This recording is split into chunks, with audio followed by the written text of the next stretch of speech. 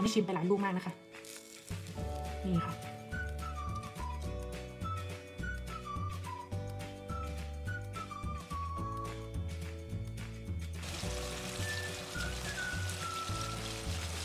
เดี๋ยวเราจะทอดอีกสักนิดนึงนะคะสีเหลืองสวยน่าทานมากเลยค่ะ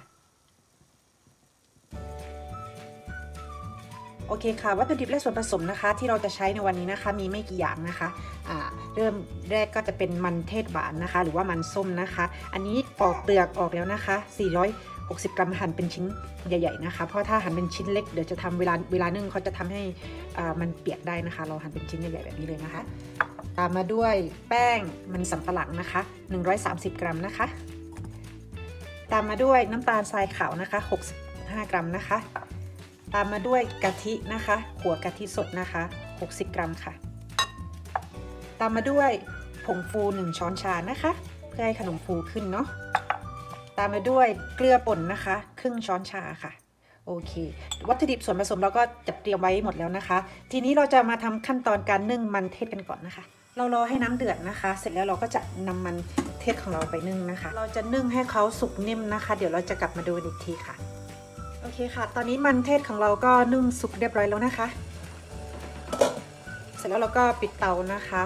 เดี๋ยวเราจะนำมันของเราไปบดให้ละเอียดอีกครั้งนะคะ เสร็จแล้วเราก็จะเทมันลงไปในชามผสมนะคะ เดี๋ยวเรารอให้มันเขาเย็นตัวอุ่นลงสักนิดนึงนะคะ แล้วก็มาทำการบดนะคะ ตอนนี้เขายังร้อน ตอนนี้มันอ่าก็เย็นตัวลงแล้วนะคะ เราก็ใช้นะคะทัพพีบดนะคะ ให้ละเอียด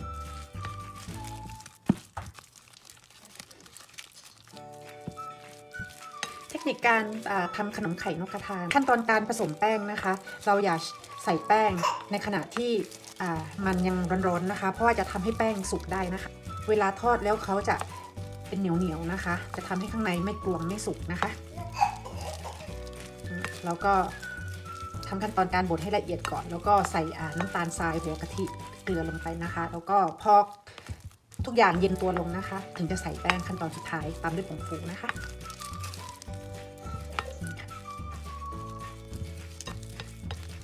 ทิพจะทำการบดมันให้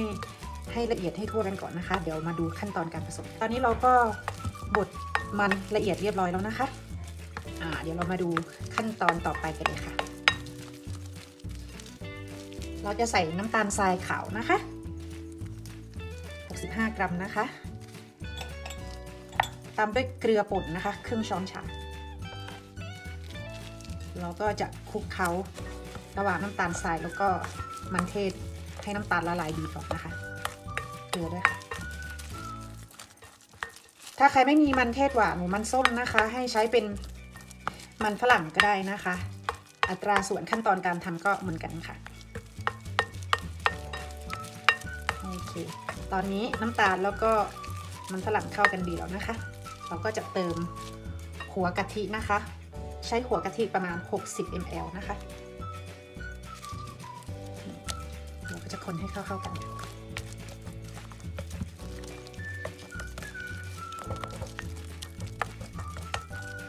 มันส้มนะคะเขาก็จะมีรสชาติที่หวานอยู่แล้วนะคะ สีก็สีเหลืองทองสวยอยู่แล้วนะคะ เวลาทอดออกมาก็จะสวยมากค่ะ เราไม่ต้องผสมสีเพิ่มเนี่ยโอเค แล้วก็ใส่ส่วนผสมน้ำตาลกะทิแล้วก็เกลือเสร็จเรียบร้อยแล้วนะคะ ตามมาด้วย 2 สิ่งสุดท้ายนะคะ มันเย็นตัวลงเรียบร้อยแล้วนะคะ เราก็จะเทแป้งมันสำปะหลังลงไปนะคะ 130 กรัม ตามมาด้วยผงฟูนะคะ 1 ช้อนชา ทีนี้เราก็จะใช้มือนวดส่วนผสมให้เข้ากันนะคะ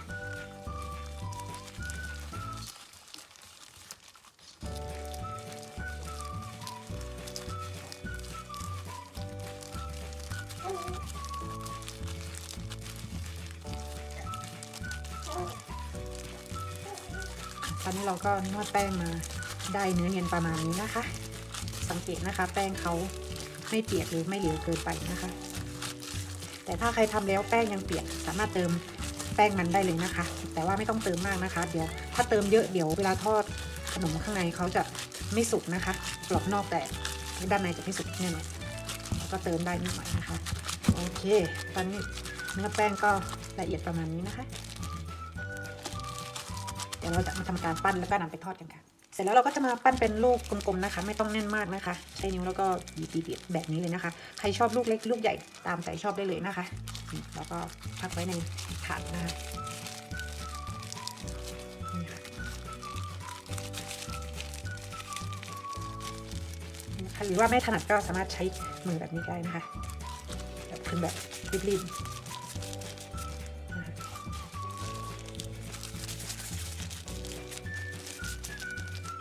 คะ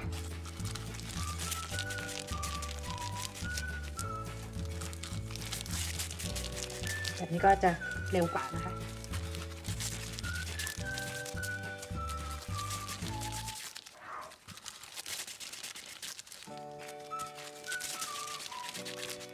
ตอนนี้เราก็ปั้นขนมไข่นกกระทาเตรียมไว้เรียบร้อยแล้วนะคะ เมื่อกี้ทำหมดเลยนะ อันนี้สูตรทำกินนะคะ เดี๋ยวเราจะนำเขาไปทอดกันเลยค่ะ วันนี้ที่จะใช้กับกระทะทองเหลืองนะคะ ในการทอดนะคะนนี้เราก็จุดเตานะคะ ขั้นตอนแรกเราก็จะใส่น้ำมันพืชแล้วก็รอให้น้ำมันร้อนนะคะ น้ำมันนะคะไม่ต้องใส่เยอะนะคะ เวลาทอดขนม ทอดเดี๋ยวเราทำการคนเขาเดี๋ยวน้ำมันเขาจะกระเด็นออกมานะคะ เราใส่แค่นี้พอนะคะ ทอดพอประมาณ เดี๋ยวรอให้น้ำมันร้อนนะคะ แล้วค่อยหรี่ไฟอ่อนนะคะ เดี๋ยวเรากลับมาดูกันค่ะ ตอนนี้น้ำมันเริ่มร้อนแล้วนะคะ เราก็จะหรี่ไฟอ่อนนะคะ โอเค เราทำการหยอดขนมลงไปเลยนะคะ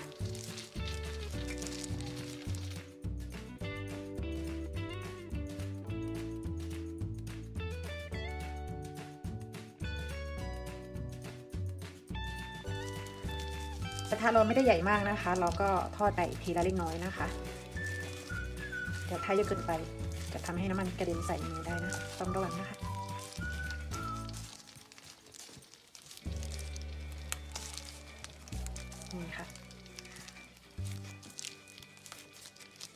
ก็จะทอดประมาณนี้ก่อนนะคะ แล้วก็ทำการคนเล็กน้อยนะคะ อย่าให้ขนมติดท้องกระทะนะคะ เดี๋ยวจะทำให้ขนมไหม้ได้ เดี๋ยวพอเขาลอยขึ้นมาเดี๋ยวเขาจะเซตตัวของเขาเองนะคะ เดี๋ยวปล่อยไปสักพักเนาะเดี๋ยวกลับมาดูกันค่ะโอเคตอนนี้ขนมเริ่มลอยขึ้นมาแล้วนะคะ เราก็ใช้ตะเกียบทัพพีโปร่งนะคะ คนให้เขาแยกออกจากกันนะคะ ไม่ให้เขาได้ติดกัน คนเบาๆนะคะ ไม่ต้องคนแรง นี่ค่ะ ขนมก็ลอยตัวขึ้นมาแล้วเนาะเราก็จะพอเขาแยกออกกันหมดแล้วนะคะ เราก็จะใช้ทัพพีโปร่งนะคะกดเขาเบาๆนะคะ แล้วก็ละเลงให้ทั่ว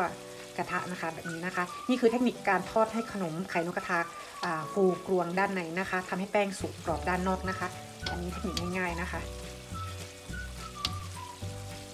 แล้วก็คนไปอย่างนี้เรื่อยๆนะคะนี่ค่ะสังเกตดูนะคะ ขนมนี่นะคะ เราก็จะ กเข้าไปเรื่อยๆนะคะอ่าทำขนมทอดขนมไข่นกกระทานี่ต้องใช้เวลานิดนึงนะคะ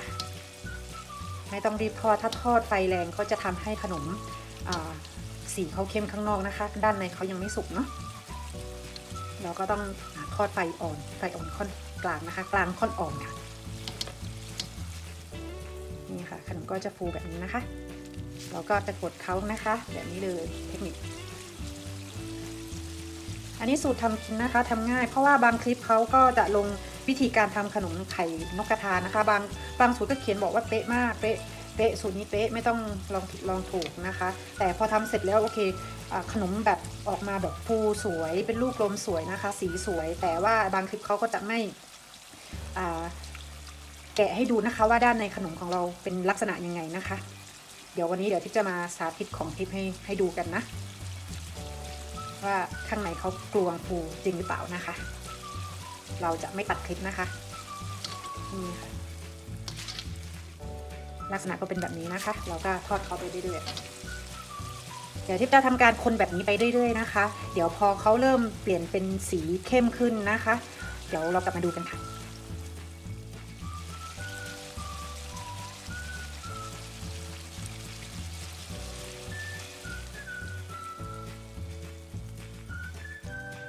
ตอนนี้ที่ก็ทอดมาได้สักนิดนึงนะคะ แล้วก็สีเขาก็จะเริ่มเปลี่ยนสีเป็นสีเข้มแบบนี้นะคะ แล้วก็ทอดต่อไปเรื่อยๆนะคะ จนกว่าเราจะพอใจนะอันนี้ที่ขอสีแบบขอเข้มอีกสักนิดนึงนะคะที่ทิปลงมาทำคลิปพูดคุยนะคะเพราะมีลูกเพจหลายคนถามเข้ามาว่าลองทำขนมไข่นกกระทาตามคลิปแล้วของคนอื่นแล้วแต่ไม่เป็นผลสำเร็จ เพราะว่าแป้งด้านในเขาแข็งกรอบแต่แข็งแต่และข้างในเขาไม่สุกนะคะ แล้วก็ไม่กวง บางคนบอกว่าแป้งยังไม่สุกดีทอดเป็นสีเข้ม อันนี้ที่เลยมาทำคลิปวิธีการทำขนมไข่นกกระทาแบบบอกรายละเอียดคลิปนะคะแบบไม่กัดสูตรนะเทคนิคทอดยังไงให้ขนมปูกวงนะคะ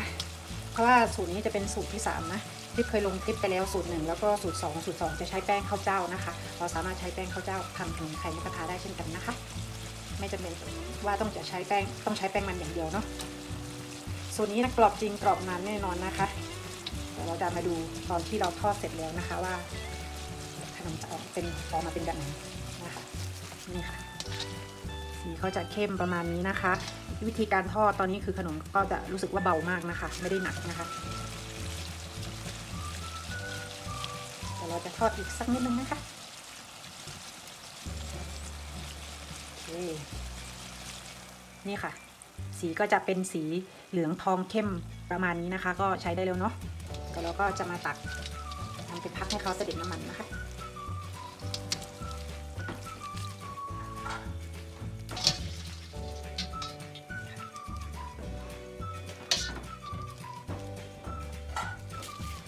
นี่ค่ะขนมไข่นกกระทานะคะ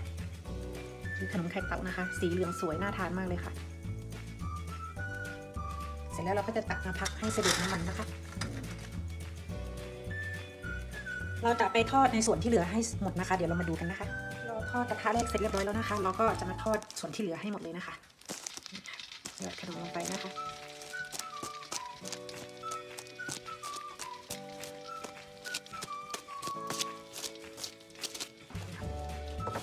เสร็จแล้วเราก็จะคนเบาๆนะคะ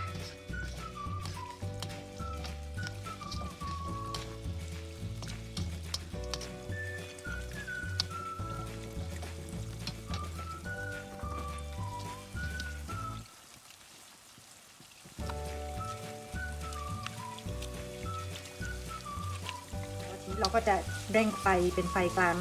เล็กน้อยนะคะ แล้วเราก็จะคนเข้าไปแบบนี้นะคะจนกว่าเขาจะเหลืองกรอบ โอเคค่ะ ตอนนี้ที่ก็ทอดกระทะสุดท้ายมาเสร็จเรียบร้อยแล้วนะคะ ดูสีนะคะ สีเข้มเหลืองทองนะคะกำลังพอดีเลยค่เสร็จแล้วแล้วนะคะ เราก็ทำการปิดเตานะคะ แล้วก็ตักขนมของเราไปพักให้เสด็จน้ำมันนะคะ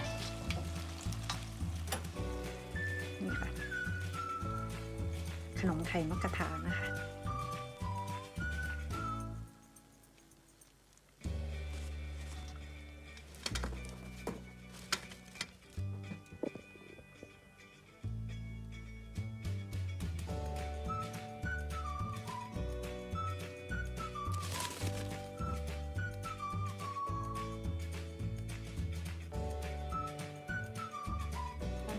ไข่นอกกระทาของเราก็ทอดเสร็จเรียบร้อยแล้วนะคะ เดี๋ยวเราก็จะมาเปิดดูด้านในกันนะคะนี่เลยค่ะลูกเลยนี่นะคะ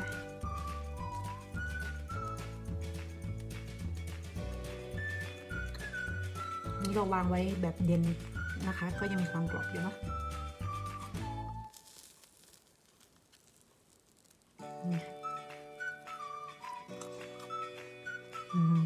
นะคะ หอมหวานมันอร่อยมากเลยค่ะอืมใช้ได้เลยนะคะ